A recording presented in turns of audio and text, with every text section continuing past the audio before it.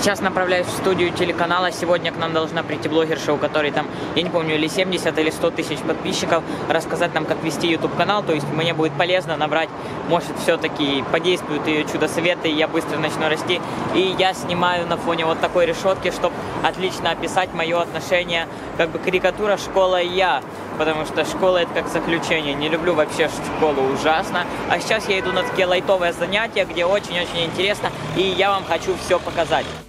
У них тут сейчас это групповой просмотр моих видео. Раз, два, и там немножечко дальше тоже.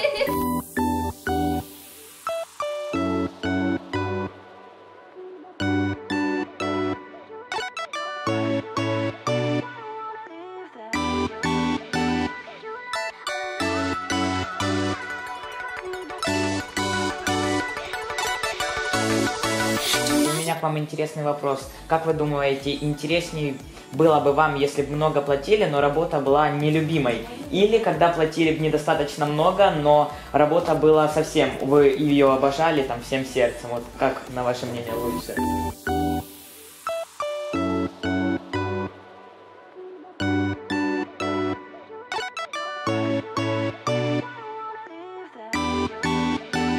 Фух, постоянно не успеваю снять при светле видео, конец этого видео.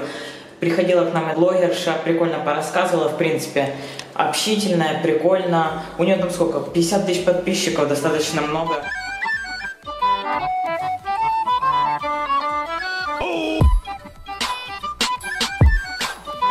Сказала приходить на видеожуру Лала, я потом говорю, я найду вас на видеожуре или на видео People, она такая, я проверю.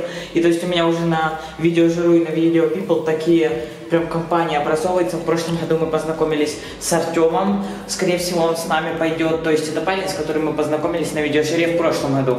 Также она будет, и я возьму друга Вову, потому что куда без него я с ним всегда.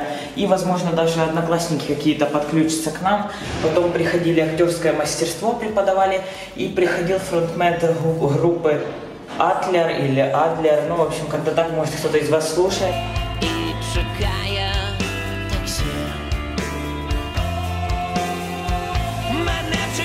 И тоже рассказывал, мы учились снимать попарные блоги. Вышло весело, прикольно.